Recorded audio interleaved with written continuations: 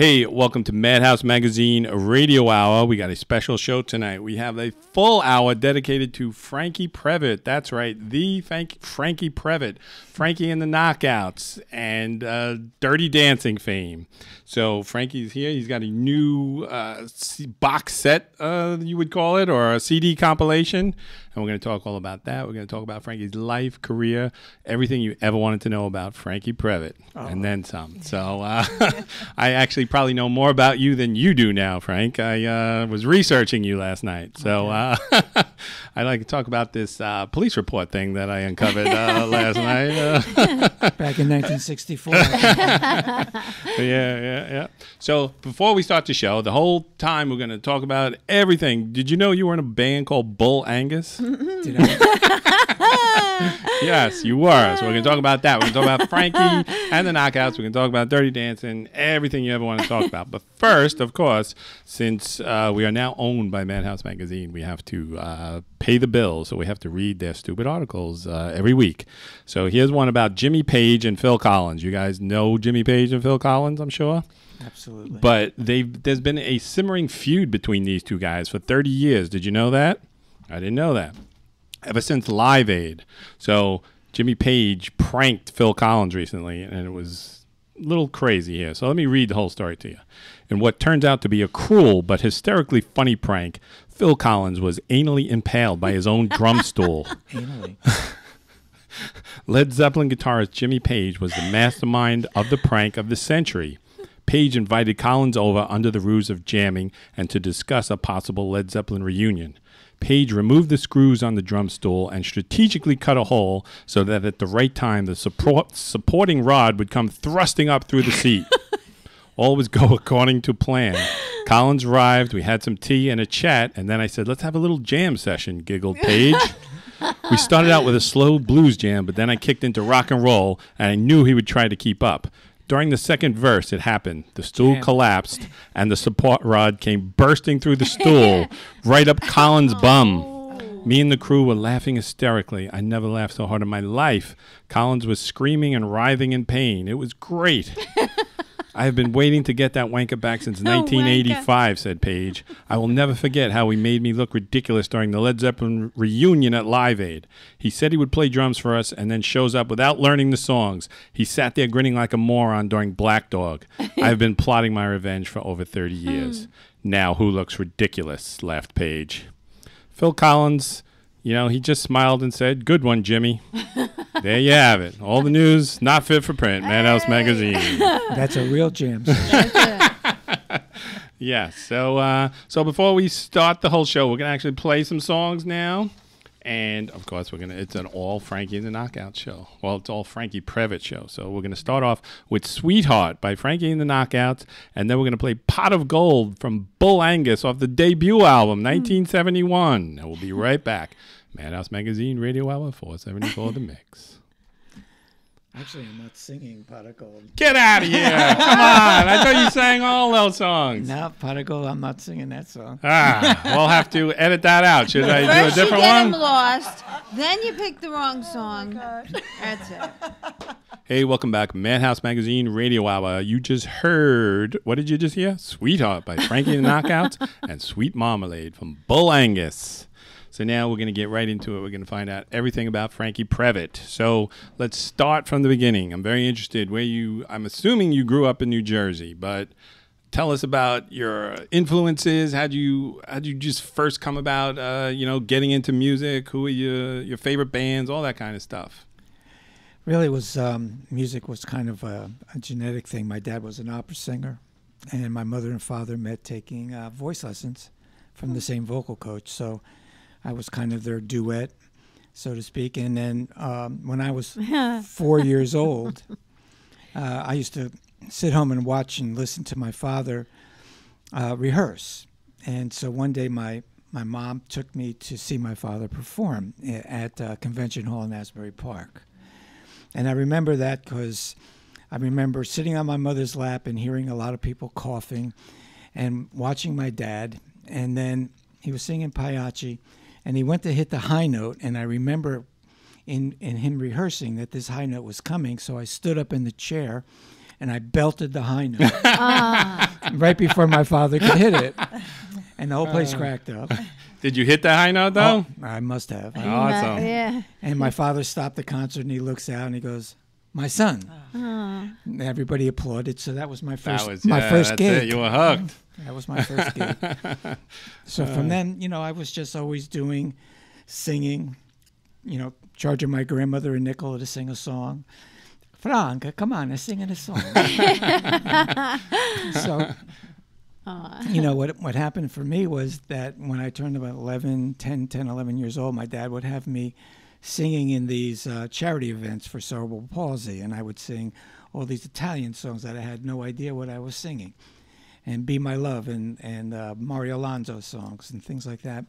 And then when I was 13, I started my own singing group, and um, it was called, believe it or not, Frankie Love, L U V. Oh, nice. And the Intruders. wow. So, uh, we got signed to London Records when I was 15. Get out. Yeah. That's awesome. Yeah. Um, the guitar player in that band became a really famous uh, session player, Jeff Mironov. I don't know if you know that name or not, Jeff Mironov. Anyway, uh, from that, uh, the record did nothing really happened with that record, but I continued to want to be a singer.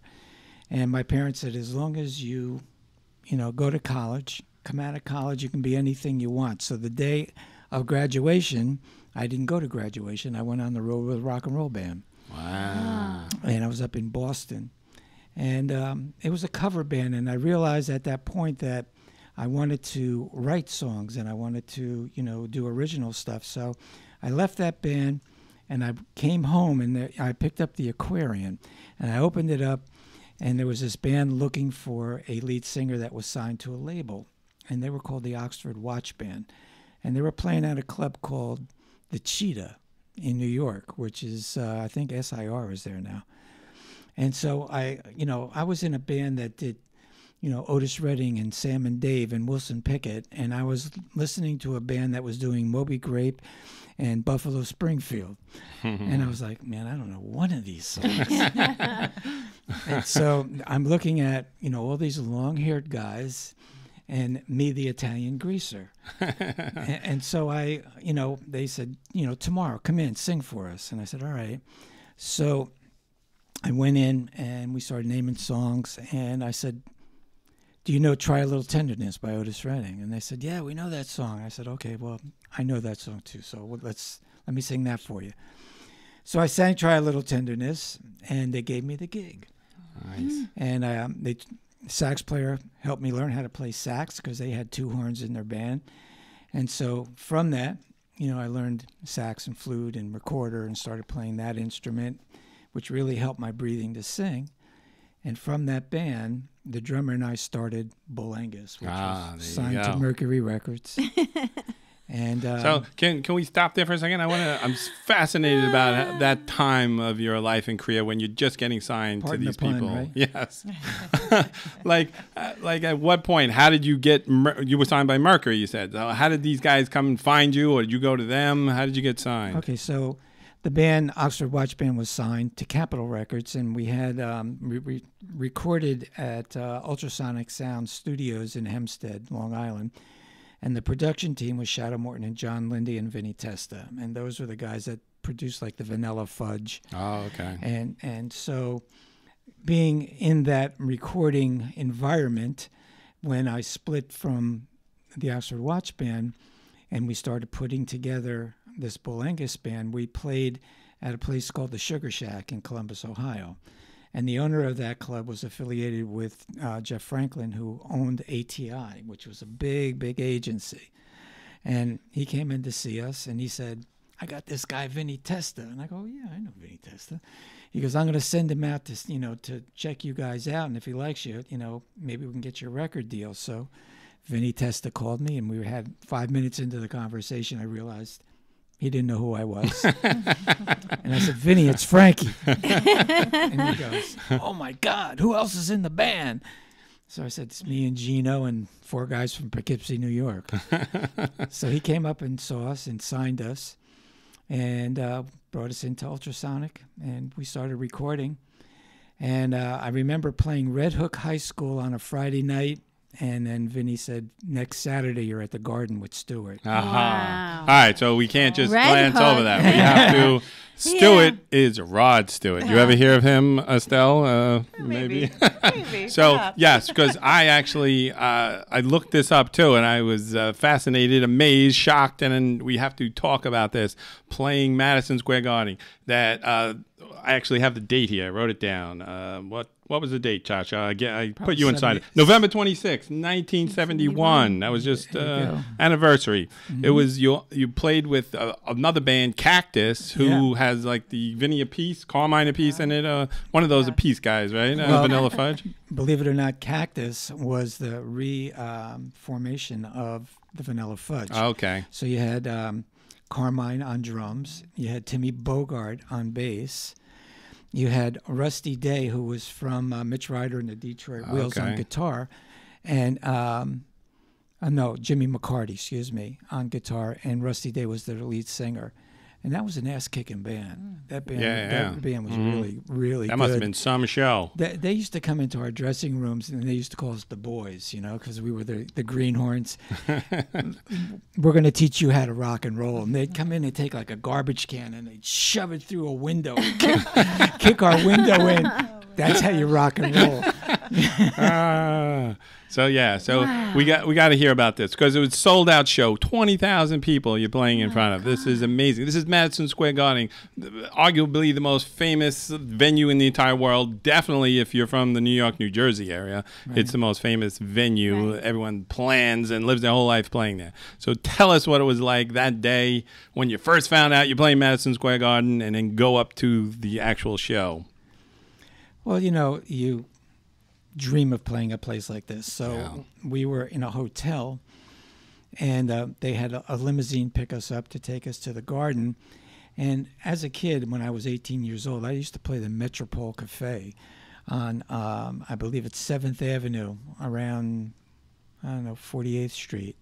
And it was a strip joint. and uh, so we got caught in a traffic jam in front of the Metropole Cafe.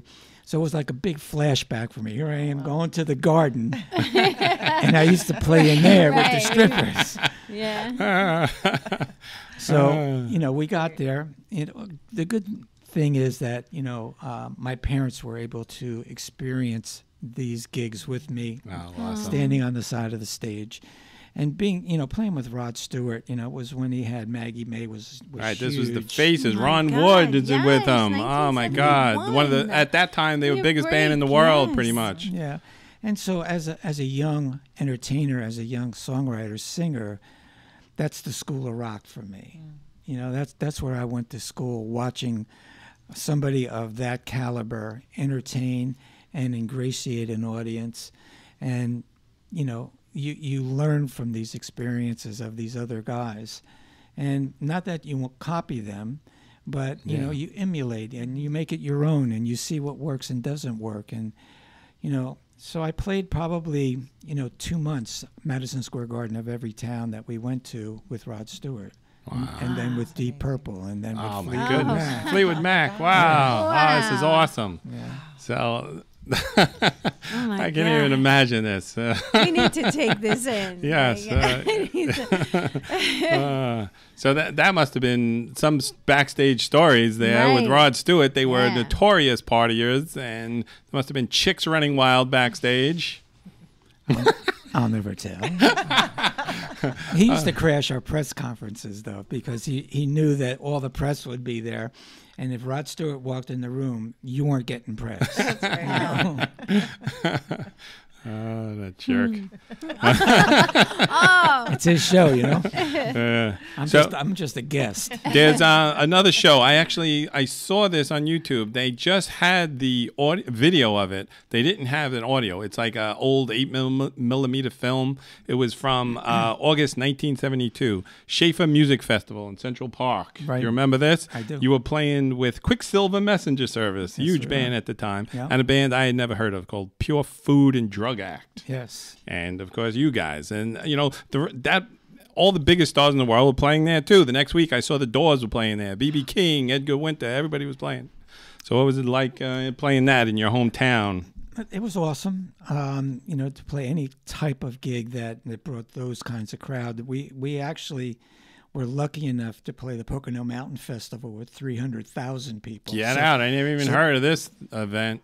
So talk about being freaked. You know, Three hundred Yeah, thousand. There were- like there was a line of traffic back twenty miles. People would just park their car and start walking. that's like Woodstock. Do you remember what year this was? it was um, in 1971. Okay. and uh, there was it was a three day uh, festival, and so I mean just everybody who was anybody, even Humble Pie and Three Dog Night and and Emerson Lake and Palmer and Get you know, out! Wow. all, all of these bands, and I, I remember it vividly because.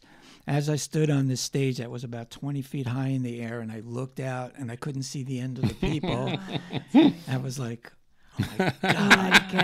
And I looked down, and there's my mother and father in the front row Oh. and Ah, I'm that's looking at them, and I'm seeing this bottle of wine being with acid in it. Oh no! People are like and passing it on to the next person, and it's getting closer to my parents. Oh, that's great. And right when my mother went to grab it, I yelled out, "Don't drink the wine!" You know. Ah, that's awesome. that's really good. it would be a whole different story if Well, your maybe- mom actually did drink the wine. that No? was- Maybe she the did, and that that answers a lot of questions. Uh, that's a lot of good stuff. Yeah. That so now is. I actually I was not familiar with Bull Angus. I'm usually familiar with lots of things, so I listened to both albums. You had two albums, Bull Angus and Free for All in '72, Right. and uh, they were great albums. I really enjoyed them, and it's like this progressive kind of rock. It sounded a lot like you mentioned uh, Humble Pie. It sounded a little like Humble Pie, Grand Funk, Deep Purple mixed Right. in, and you had your own sound. You like amazing musicians. We, we great had a we had a name for our sound. We called it riff rock. There you go. Becau- because of all the, the riffs that Mm-hmm. we would play. You know, there's a song Miss Casey on the first record, and there are all these riffs, and we'd go from one riff to a power chord to another riff, and so we just said, you know, we're we're doing riff rock. Yeah, Riff rock. Yeah. I love that. I do. Yeah, it's good stuff. So now we have to find out what happened here because you guys, it sounds like you're riding the wave here. You guys are on top of the world. And that was it. You only did two albums. So Right. what happened behind the music here? What happened? Well, our manager at the time, and I'll, I'll leave his name out so I don't embarrass him, um, got in a, a kind of a misunderstanding with the guy who uh, signed us to his ATI. And um, so at that point, he said to our manager, You know what? I'm done. Just take your little group and go away. And so, because of their misunderstanding, it ended up hurting the band. We were in the studio actually recording a bunch of new songs for the next record, which you know, one of those songs was Sweet Marmalade. Oh, okay, cool. And so I figured I would stick that on there because that's a song that never really made light of day. And uh, there's 11 other songs that are on the new CD that are songs that I wrote after I left Bull Angus. I was signed to Buddah Records as an R&B artist, and Tony Camillo, who produced Midnight Train to Georgia, I recorded uh, for him in Buddah Records, and he became my producer. And I wasn't wasn't really feeling the energy that I was used to from the music of this riff rock band, riff rock band with my R&B thing that was going on. So from that, I took those two sounds and the guitar player from Bull Angus, Billy the Kid, Billy Elworthy, and um, I formulated a blue-eyed soul rock and roll band called Franke and the Knockouts. There you go.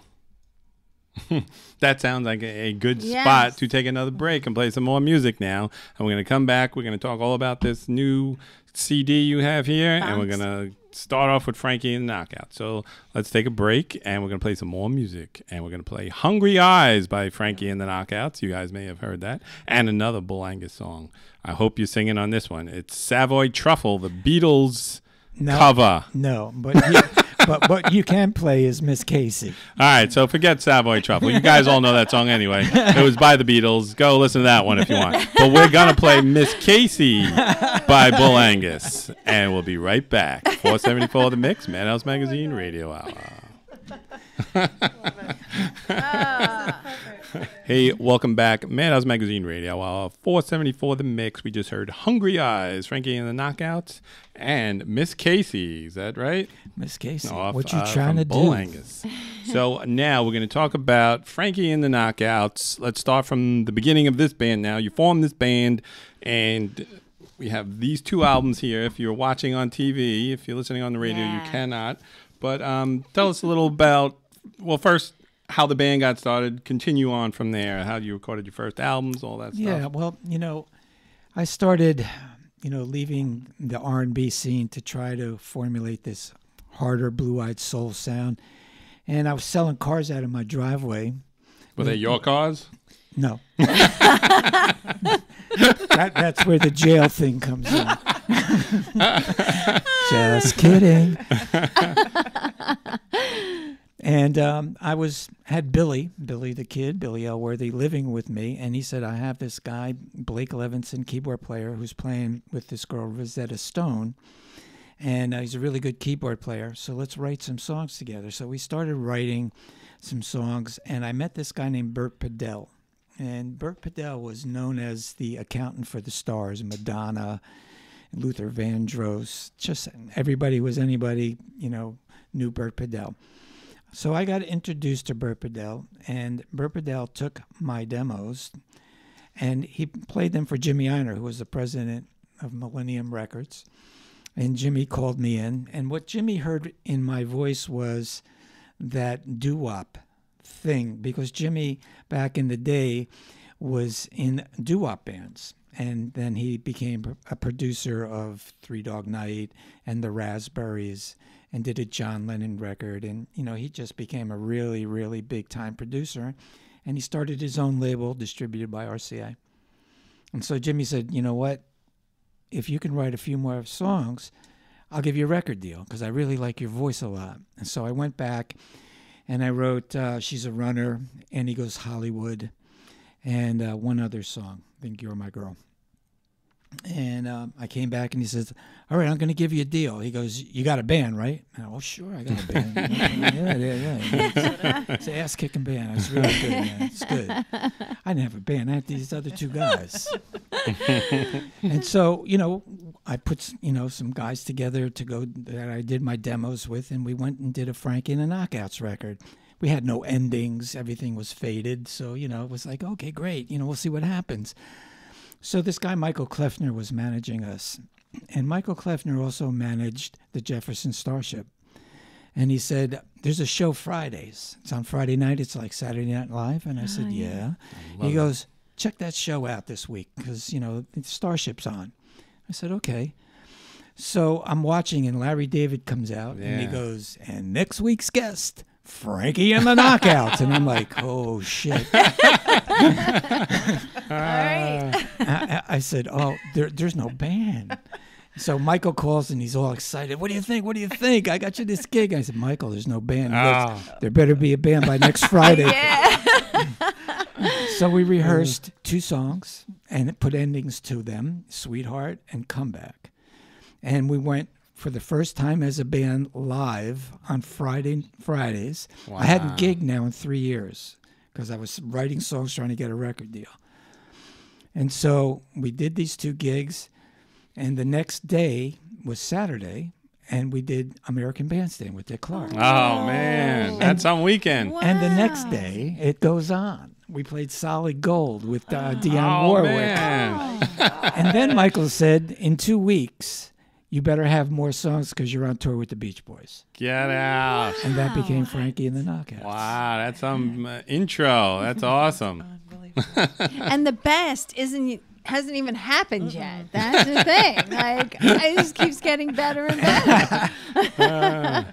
Now, this song, Sweetheart, that you mentioned, that went to number 10 on the charts. That's a top 10 hit. That's amazing. It is amazing that an unknown band and a kid from New Brunswick that dreamed one day to hear his song on the radio was hearing himself sing on the radio driving was- down Livingston Avenue. Is know? that the first time you heard it, Sweetheart? You heard it uh, you're driving Dri- around in the driving down car? Livingston Avenue. Yes. Wow. Did you open the window and tell everyone, hey, this is me? Uh, no, I just was telling myself this is me, Yeah. pinching myself. that's pretty awesome. Yeah. Yeah, and you you had uh, two other top forty hits with that band. Yeah. Yeah. Uh, You're my girl and without you.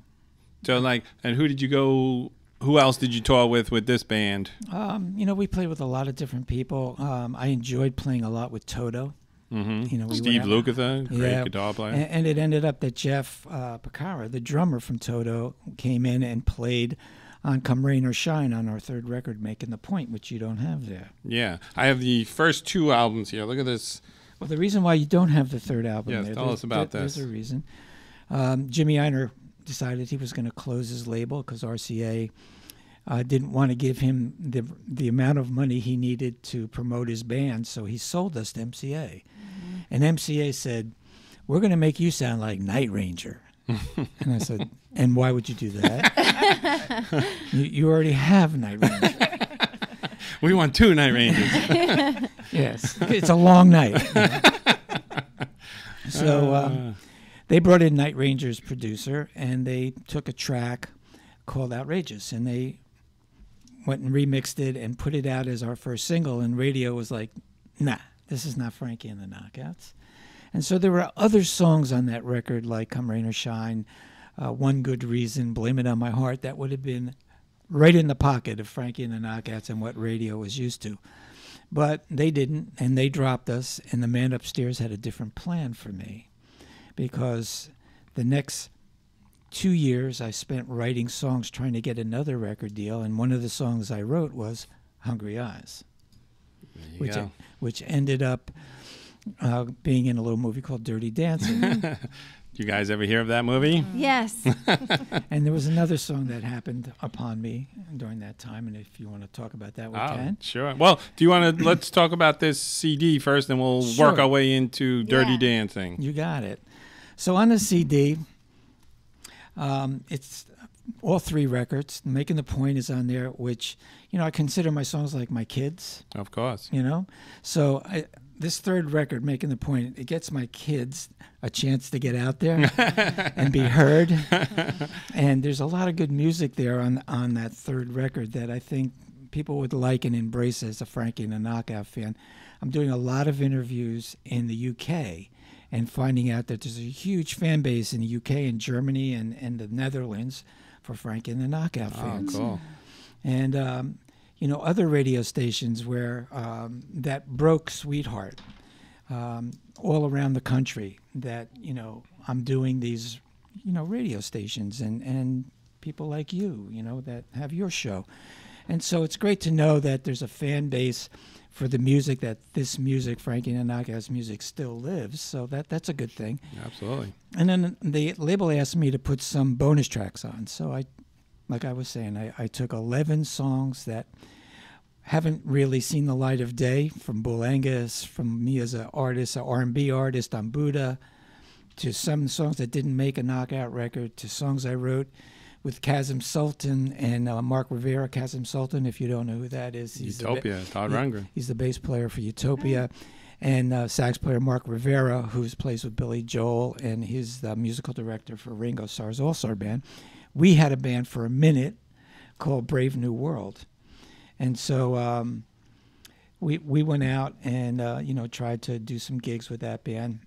And so I took all of these songs and I put, put them on here, kind of like my journey to the Academy Awards.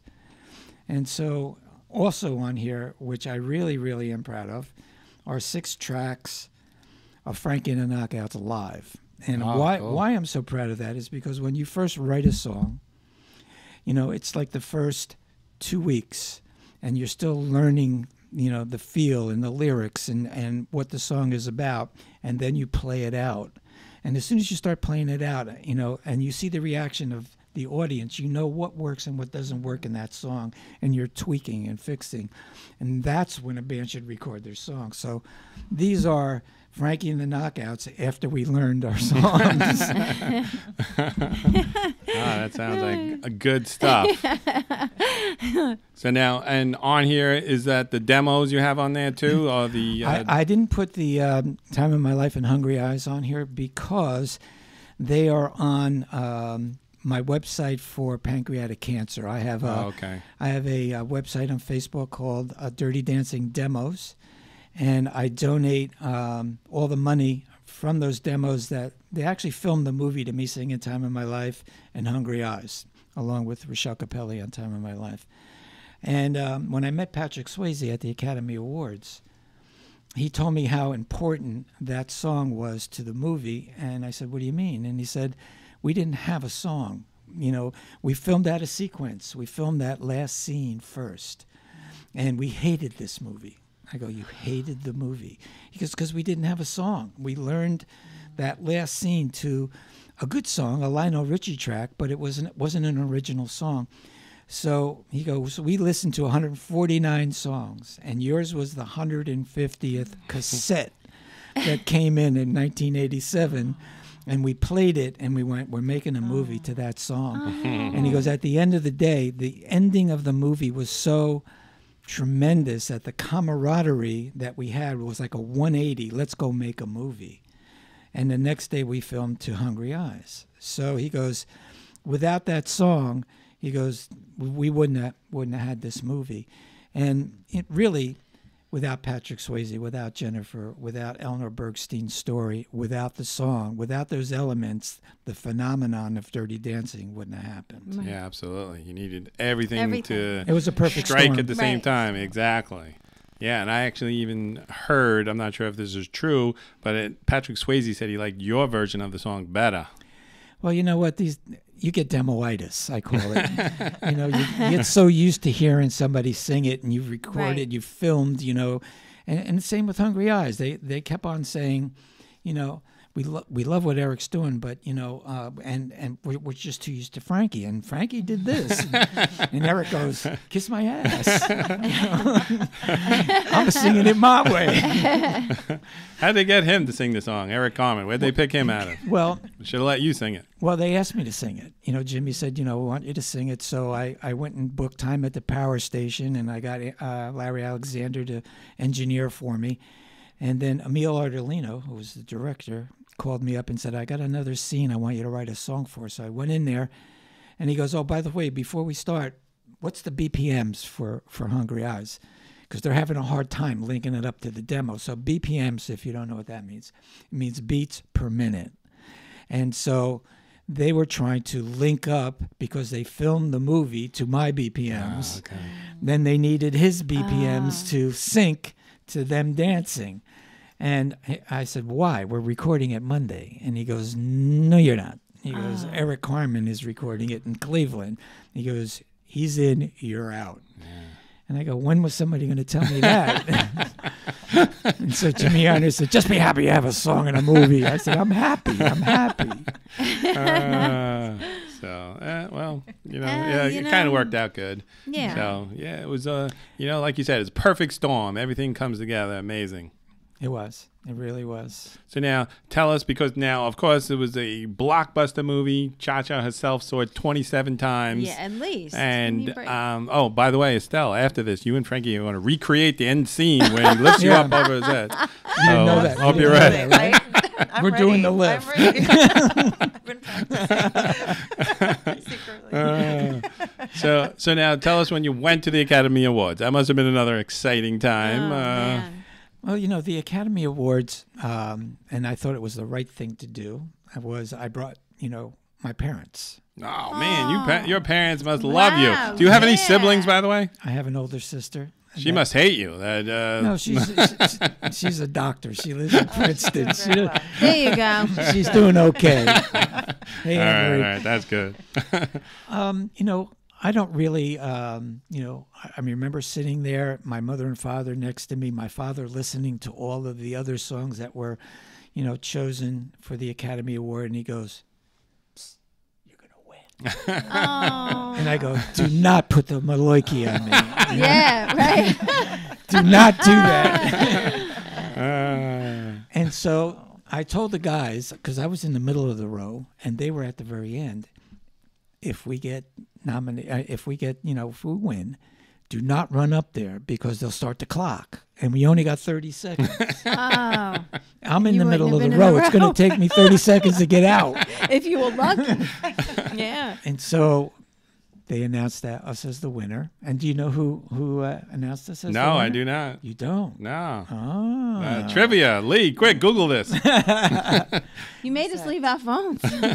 Dudley Moore, Ah, nice. Wow. Li- Liza Minnelli. Oh man. And, and and what was also a very cool moment for me was the Golden Globes because Sammy Davis gave Oh, me my that'd be even cooler. Oh my god, I Yeah, love yeah. Sammy. Yeah. So those were really cool moments to, Oh, meet, to meet those guys. So um, I don't remember walking up there, I bet. you know, but Where was it? It was in L.A. somewhere. yeah, it was in L.A. And Oh, um, you you know, it was it changed my life. You Yeah, of course. It- it Yeah. absolutely changed my life. I, I went from being Frankie the singer to Frankie the songwriter. Yeah. My song became bigger than me. hmm And hey, I'm okay with that. Yeah, absolutely. I'm good with that. Is- Yeah, just think about this. It was a number one hit. You won uh, an Academy Award. How many people can say that in this room? Nobody. How many people in the world can say that? About 72. exactly. For music, about 72. Wow. That's amazing. So that's something. No matter what happens, they can never take that away from you. Well, you know, the year was a really, really good year for me because, I, like we talked about the, the Golden Globes, and then uh, I got a, a Grammy nomination, and then the song won a Grammy for the be, uh, best duet, and then we won ASCAP Song of the Year, which means the the most played song in the world. So it, it got played over a million times. Wow. In, in a year. So you know to have those things happen to me are, are so far beyond my dream of me hearing my my song on the radio that you know the person that really wrote that song was the man upstairs because I had no idea. So I had no idea what that movie was about and I wrote I wrote it on the Garden State Parkway exit 140 going in and in and out of my life going in and out of my life. What the hell am I saying? And I scribbled time of my life on an envelope and that's where the seed of that song was born. Wow, that's something. I pass there every day. I take the Parkway that way. I'm gonna I'm gonna request the governor put a plaque. Yeah. Uh, you know. So yeah. We could have Time the Hungry life. Eyes bus stop or something. ASCAP, who who uh, monitors how many times songs get played. It's they have the top twenty songs that ever have been played. It's number fifteen. Wow. So uh, Happy Birthday actually is number one. That's Oh, pretty good company. yeah, and uh, number five is one of my favorites, which is My Girl. Oh, there you oh, go. Oh, yeah. Yeah, you go. that's something. I gotta look up that list. Yeah. Yes. I hope Disco Duck is not on it. Oh, right under. Oh, it. my God. It's. Number 14 is Everybody's Disco on Duck. Yeah. Disco Duck. yeah, I didn't make the cut on that.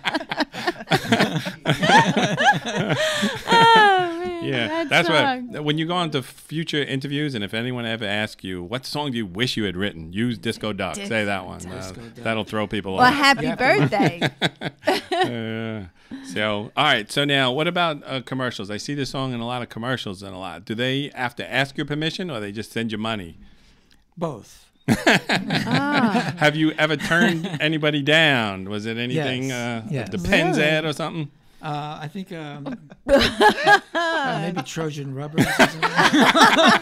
Yeah, that would be good. Time of your life. Yeah, there you Maybe I should rethink that one. Why would he turn that down? Because just the other day I saw it's on a new uh, KFC commercial that it's like Oh, the Colonel and Ma- Mrs. Ma- Butterworth, yes. and they're recreating that scene. I wonder if they have a kid. yeah, it's chicken and waffles that they're selling at KFC. That's yeah. it. That's their kid. Amazing. Uh, you having fun? absolutely. All right. Good stuff.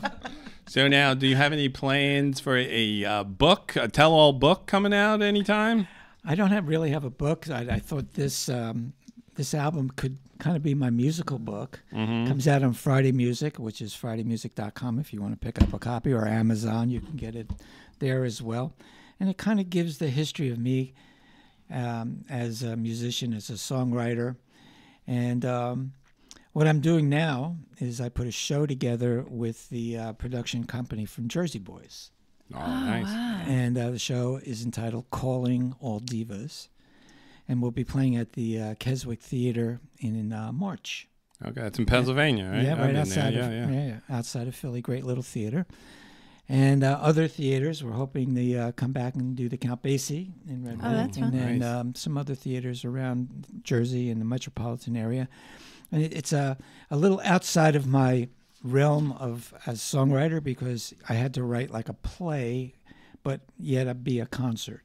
So it's about four different girls at different times of their career, and they are found by Frankie the songwriter, who is looking for the next star to sing his hit song, and bring and break her through this guy's nightclub.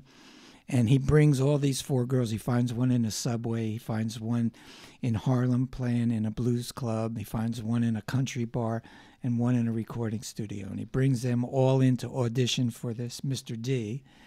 And Mr. D can't make up his mind which girl he likes the best. And so the second act opens up and he goes, I wonder, uh, I guess you're wondering who I picked. And he goes, There was only one winner, obvious winner. And that winner is, and he announces the winner.